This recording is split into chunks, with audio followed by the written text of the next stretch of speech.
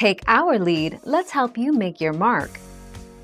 Our goal is your satisfaction. Let us show you the way. Think of it this way, negative cable off first and installed last. If you remove the positive cable first, there is a chance your tool may come in contact with a metal surface on the vehicle and short out the battery, which can easily damage your electrical system and possibly cause the battery to explode.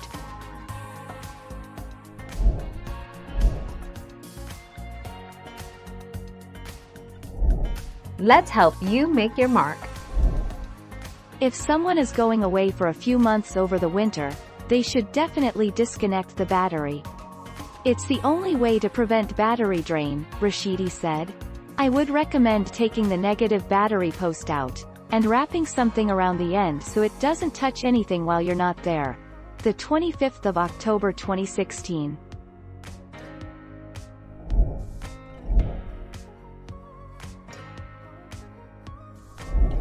Let's help you make your mark.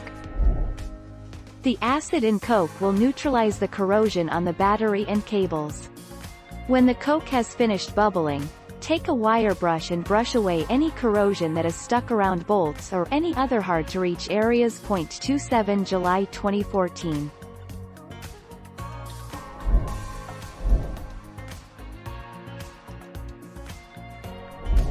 Make your mark, take our lead. Which battery terminal should be disconnected for storage?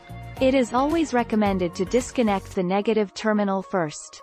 When connecting the battery, however, the order will be opposite.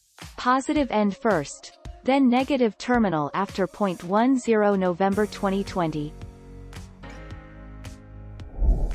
Thank you for watching. Please subscribe and hit the bell notification.